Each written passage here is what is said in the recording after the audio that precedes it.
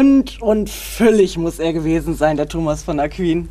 Es gibt da ein Gemälde, da sitzt er breit und fett in der Mitte, ja, und trägt einen Heiligenschein. Also ich kenne das Bild. Die Augen verklärt zur Seite sound, Gelehrte mit dicken Bärten rechts und links und die schreiben einfach mit.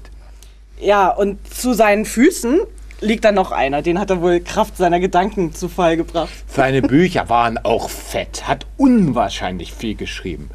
Summa Theologica beispielsweise oder Summa Contra Gentiles. Summa, zu Deutsch Summe. Alles sozusagen. Übersetzt in etwa Gesamtheit der Glaubenslehre, alles gegen die Ungläubigen. Dabei hat Thomas sehr viel von Aristoteles übernommen. Aber der war doch ein Heide. Sicher, aber auch die Hochachtung vor der natürlichen Vernunft, die Aristoteles hatte, die hat er von Tho- Thomas übernommen. Nur, dass bei ihm noch die Weisheit der göttlichen Offenbarung dazukommt. Und das ist kein Widerspruch?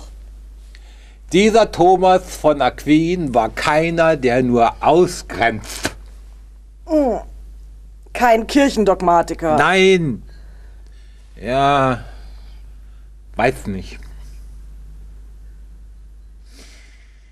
Nach Thomas kann man die Widersprüche auf jeden Fall auflösen.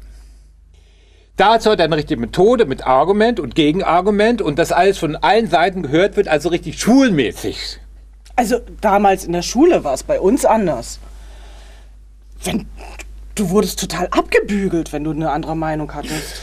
Der heilige Thomas von Aquin, der hat sogar vorgeschlagen, dass bei jeder Disputation, äh, bevor man antwortet, erstmal das Argument des Gegners noch einmal mit eigenen Worten wiederholt wird und er muss fragen muss, ob er richtig wiedergegeben ist. Aktives Zuhören, also, ist ja nicht verkehrt. Sollte man generell wieder einführen.